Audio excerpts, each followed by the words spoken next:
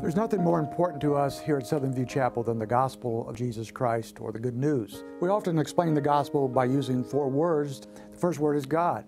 Scripture tells us that our Creator God is a God of love, a God of truth, a God of, of uh, wrath even against sin.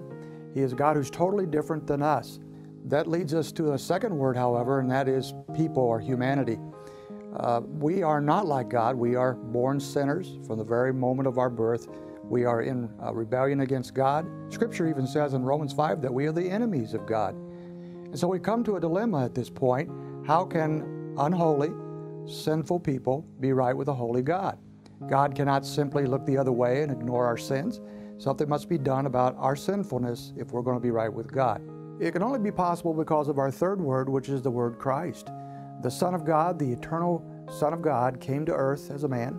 He lived on this earth for 30 some years in, in perfection, totally holy.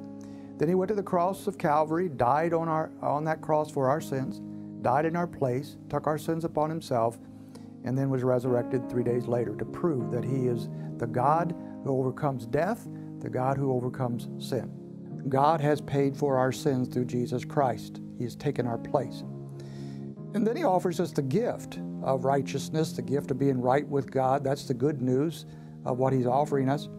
But we're not automatically the children of God. We're not automatically saved, as Scripture calls it, simply because Christ died for us. That leads us to the fourth word response. How do, do we respond to the gift that Christ is offering us the gift of salvation, the gift of forgiveness? Well, Scripture says that we are given that gift simply when we receive it by faith alone. My favorite passage on this subject is Ephesians chapter 2, verses 8 and 9. For by grace you have been saved through faith, and that not of yourselves. It is the gift of God, not as a result of works, so that no one may boast. We cannot work our way to God. We can never be good enough to please God. But Jesus Christ pleased God. He died in our place. He took our sins. And He offers us the gift of eternal life, the gift of being right with God, simply by us receiving that gift by faith alone. If you're not certain you've ever received this good news, this gift that Christ offers us, uh, would you do so now by faith alone? Trust Him for the forgiveness of your sins.